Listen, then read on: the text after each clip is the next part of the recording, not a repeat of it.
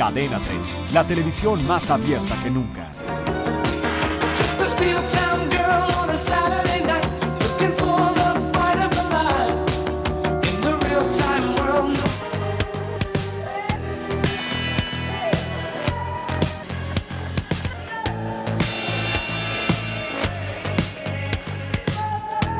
Bueno, esta es la tercera semana de Mamá en Reconstrucción. Vamos avanzando. Hubo una buena llamada de atención. Nosotros estamos muy contentos, pero en especial yo estoy desilusionado. ¿Ok? Porque eh, tú eres la voz de millones de mujeres que están afuera. Entrenaste más o menos 25 minutos. Estuvo bien. Quemaste alrededor de 300 a 400 calorías. Estuvo bien. Un aplauso. Algo. Ok, pero unas barritas, un mazapán y un refresco tienen 800 calorías. Cada una. Y te lo comiste en 3 minutos. ¿Es en serio?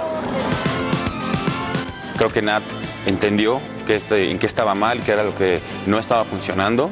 Se ha esforzado muchísimo. Ya empieza a tener como otra actitud completamente. Estas dos semanas que vienen van a ser muy, muy importantes para que se desarrolle y para que ella ya empiece a ver esos resultados que estamos buscando. Y algo muy interesante que vamos a tener en esta semana es una competencia. Va a entrar a su primera competencia de CrossFit. Va a saber lo que es estar trabajando con juez, bajo presión, eh, se va a divertir muchísimo, pero sobre todo va a ser una satisfacción para ella, porque casi no estamos acostumbrados a competir. Cuando tú compites en algo, eh, aunque siempre es muy bueno competir contra ti mismo, te da otro tipo de perspectiva de la vida.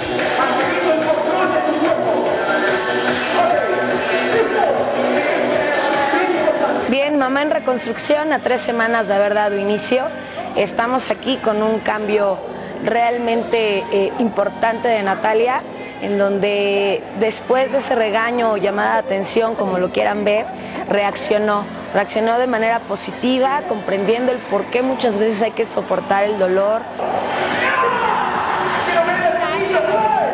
Hay que soportar el cansancio,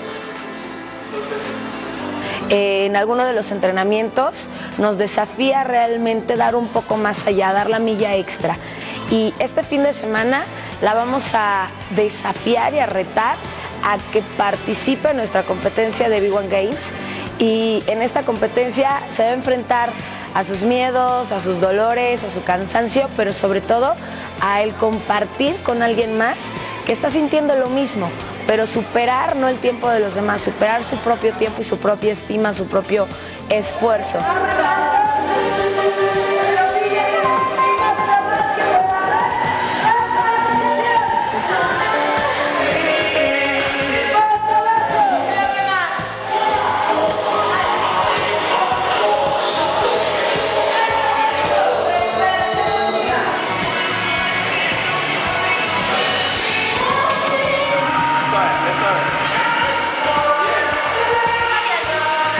Los esperamos para que la acompañen, para que le echen porras.